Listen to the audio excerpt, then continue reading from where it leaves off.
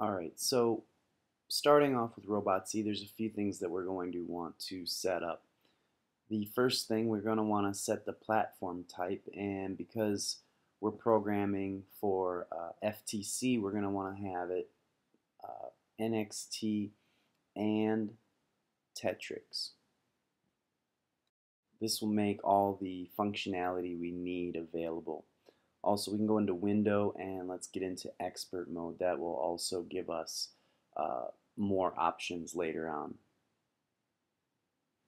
Not only do we want to set up Robot C, but we also want to set up and prepare our NXT. So we need to download the correct firmware onto the brick.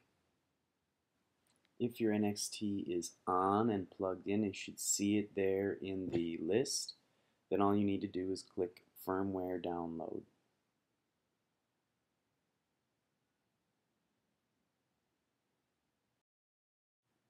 Finally, we also need to rename our brick. Usually uh, in competition, it's a four-digit number, so you want to go ahead and press the button Rename NXT, put in your four-digit team number.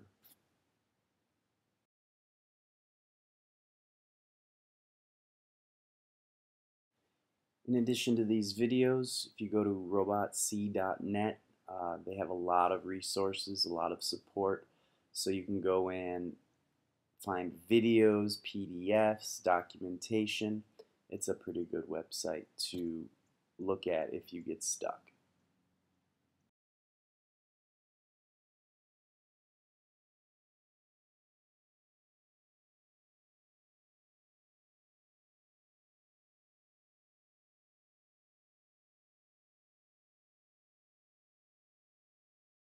Alright, let's go back to Robot C. I restarted it to make sure all my changes uh, took effect. Go ahead and close the start page and then we're going to click on the new document button in the upper left hand corner. You will see that it creates a document for you and that it has a task which is a job and the name of that job is main and inside that is where all your robot instructions go. On the left side of your Robot C screen, you're going to see a list of functions. And functions are commands for your robot. So we can open these up, finding the commands for the motors.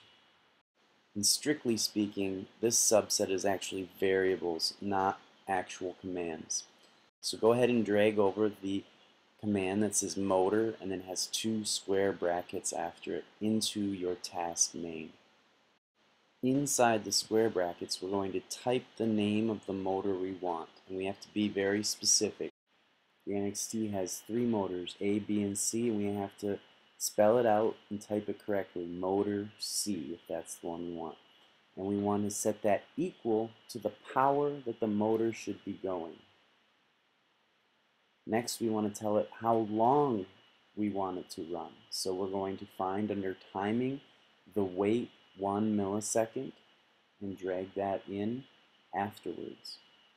And inside those parentheses, we have to change that n milliseconds to the number of milliseconds we want. So we could put 5,000, we could put uh, 3,000, whatever you would like. And 3,000 milliseconds would be 3 seconds.